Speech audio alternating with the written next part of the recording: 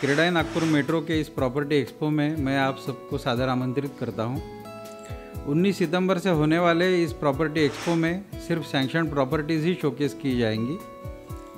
इस कारण ग्राहक को सही प्रॉपर्टीज़ मिलने की खातरी रहेगी। इस एक्सपो की झलक आप पिन टीवी चैनल पर भी देख सकेंगे।